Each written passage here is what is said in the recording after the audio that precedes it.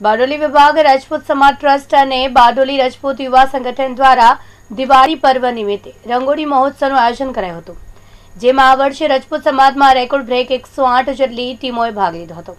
જેઓને સમાજ દ્વારા દરેક સભ્યોને પ્રોત્સાહિત ઇનામો પણ આપવામાં આવ્યા હતા. બારડોલી વિભાગ, રાજપૂત સમાજ ટ્રસ્ટ દ્વારા પ્રમુખ ભૂપેન્દ્રસિંહ સોલંકી તેમજ ટ્રસ્ટીઓના માર્ગદર્શન હેઠળ સમાજલક્ષી વિવિધ પ્રવૃત્તિઓનું આયોજન કરાય છે.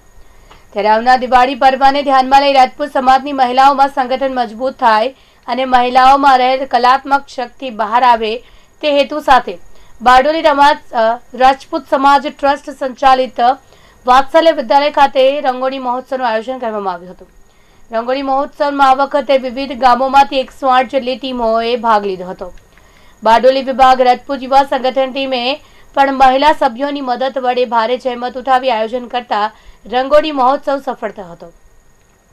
રંગોળીમાં પણ દેશના મહાપુરુષો દિવાળી થીમ બેટી બચાવો મહિલા સશક્તિકરણનો સંદેશો ઉજાગર કરતી સરાહનીય રંગોળી કરવામાં આવી હતી.